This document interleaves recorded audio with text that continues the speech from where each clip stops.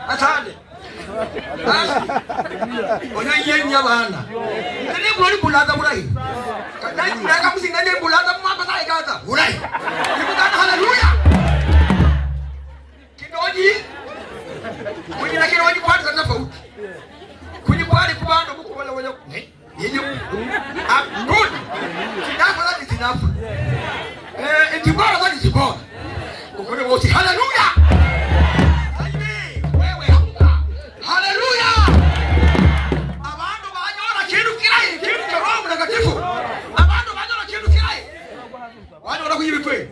Ibuka na haleluya. Nani haleluya. Wewe.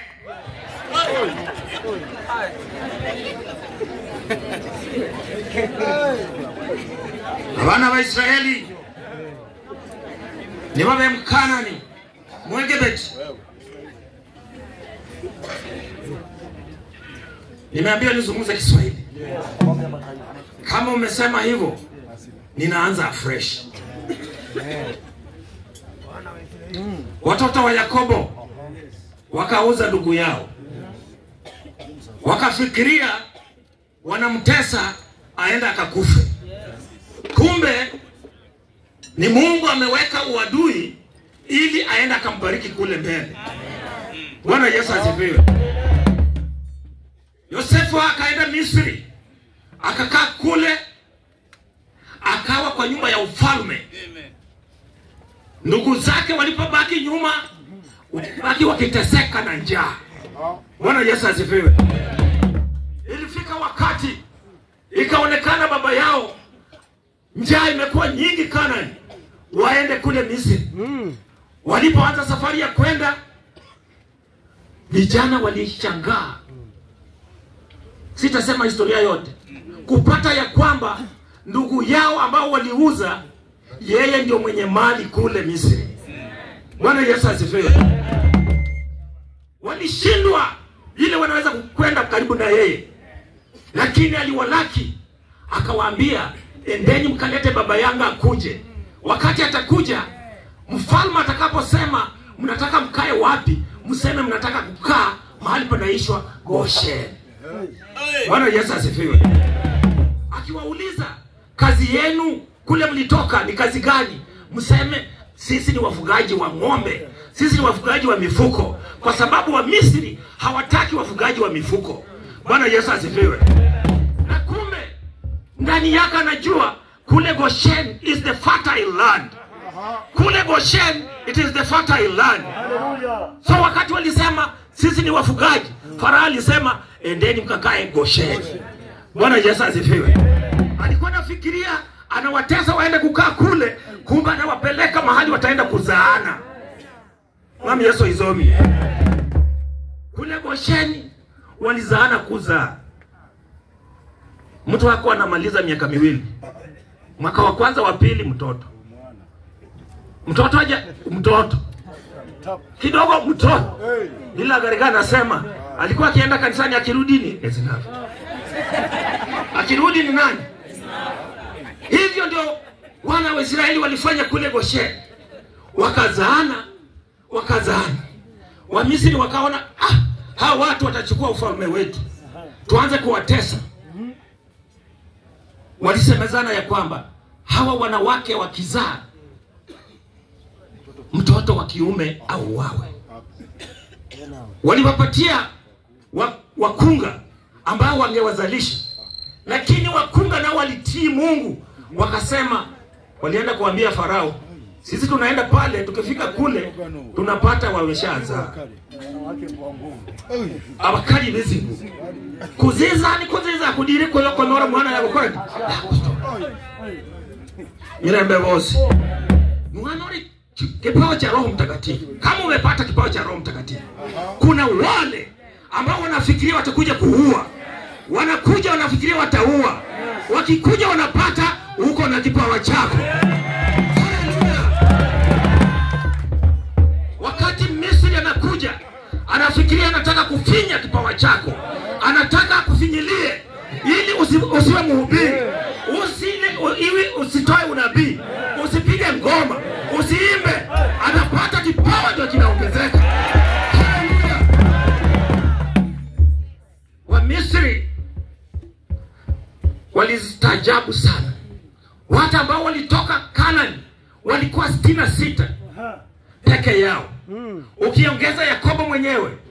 ukiongeza Joseph wanakuja sitini na nane ukiongeza Manase mtoto wa Joseph, uongeze Efraim wanakuja sabini watoto ambao walitoka kwa tumbo ya Yakobo.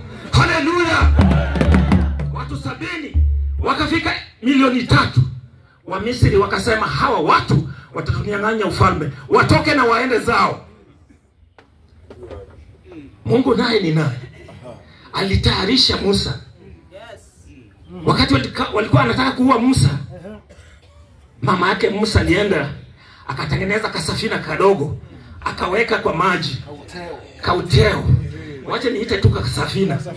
Wakati mtoto alikuwa akilia, na kumbe msichana wa Musa wa Farao anaenda kuoga. Umanye bisingaza kumugera bayali n'abakana kumugera ga- garana mangana da. Niga mangana garaba mudi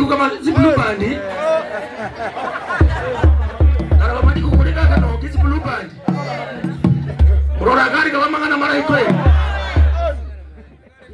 walifika wakaona mtoto analia. Akasema yule mtoto lazima ni mtoto wa mkanani.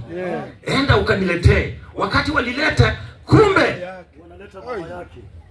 mwenye aliona ni dada ya huyu mtoto.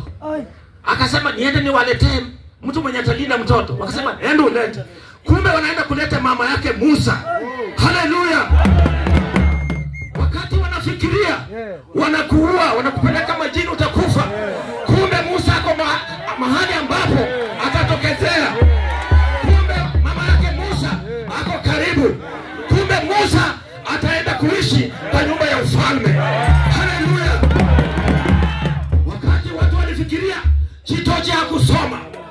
hawezi kwenda shuleni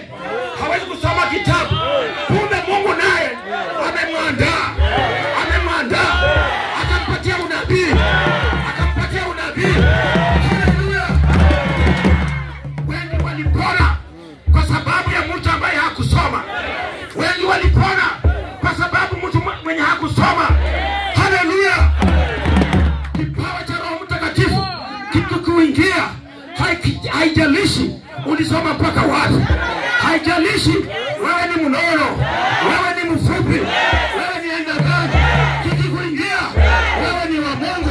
Haleluya! kaliningwa na karunu mureke mziho kigira ndabuka kandi. Sema nyosha haleluya. Musa alienda kwa nyumba ya Farao, alikula vyakula pale, aliishi kwa Farao kwa ufalme. Mtu ambaye alikuwa anataka auawe, lakini ameenda kwa nyumba ya ufalme. Bwana Yesu asifiwe. Bwana Yesu asifiwe. Wakati adui zako wanafikiria wanakutesa, wewe unakimbilia Mungu, unaenda kwa kanisani, unaenda kuomba, ku, ku, kuomba Mungu, umeenda kwa kupata baraka kubwa kuliko ile ilikuwa nje.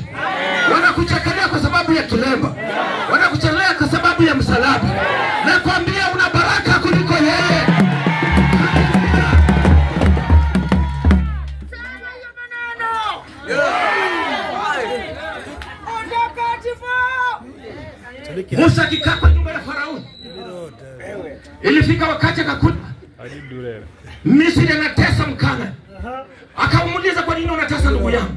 Alienda akawatawanya. Misri hakutaka. Mnajua Musa alifanya nini? Alitandika yeye. Alimunyuria.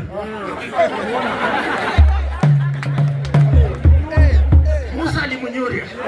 Bwana Yesu asifiwe. Wazee wanafikiria tu kunyuria ni kufanya nini?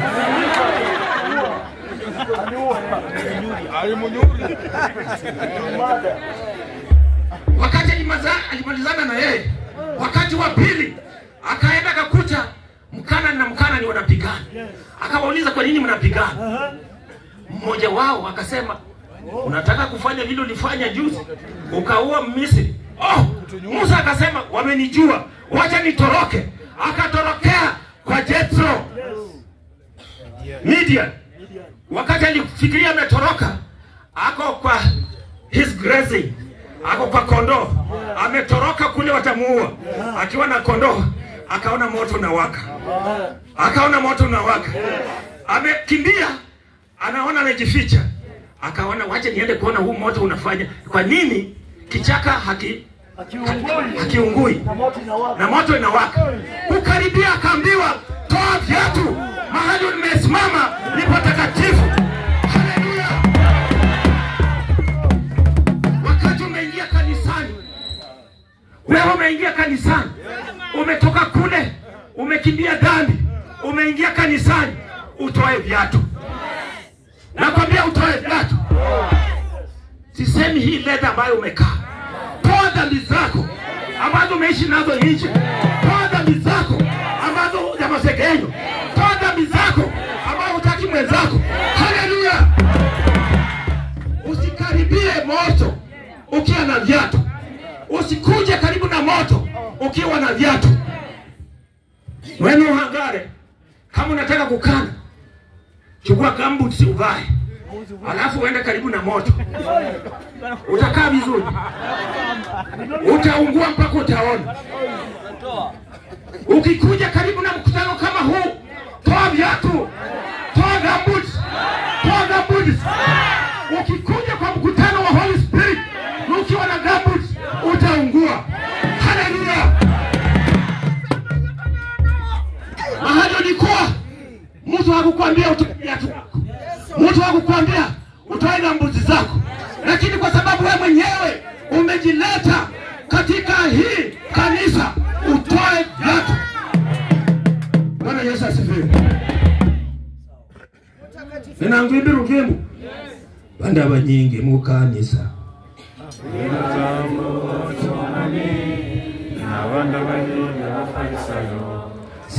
no yesu yaliza ngarangwa nzibaze ninagairiza ya yesu yesibara wewe ukiwa katika kristo wewe umeitwa kuhubiri